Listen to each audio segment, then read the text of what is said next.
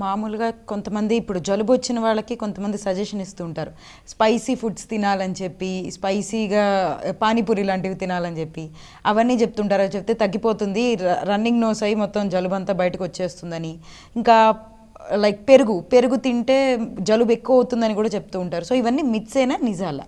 యూజువల్గా ఏంటంటే ఏదైనా కూడా మనం too much spicy food too much cold food అంటే చల్లటి పుల్లటి స్పైసీ ఫుడ్ ఎక్కువ తీసుకున్నట్లయితే ఈ జలుబు అనేది ఎక్కువయ్యే అవకాశం ఉంటుందన్నమాట.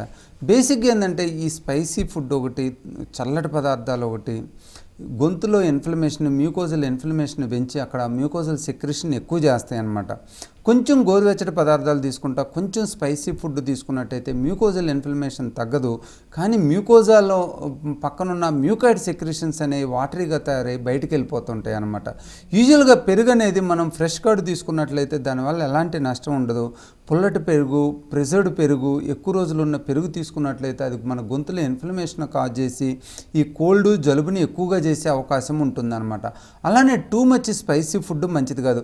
కొంచెం స్పైసీ ఫుడ్ కొంచెం గోరువెచ్చటి పదార్థాలు అనేవి యూజువల్గా మన జలుబుని క్లియర్ చేయడంలో ఉపయోగపడతాయి అలానే కొంచెం సూపు అది వెజిటబుల్ సూప్ కానీ నాన్ వెజిటబుల్ సూప్ కానీ అది కూడా కొంచెం ప్రోటీన్గా ఉంటుంది కొంచెం వామ్గా ఉంటుంది అవి కూడా మన గొంతులోను ముక్కులోను సూతింగ్ ఎఫెక్ట్ కలుగజేసి సెక్రెషన్స్ పూర్తిగా వెళ్ళిపోయి మ్యూకోజాని హెల్తీగా ఉంచి త్వరగా రికవరీ కావడానికి ఉపయోగపడుతుంది అన్నమాట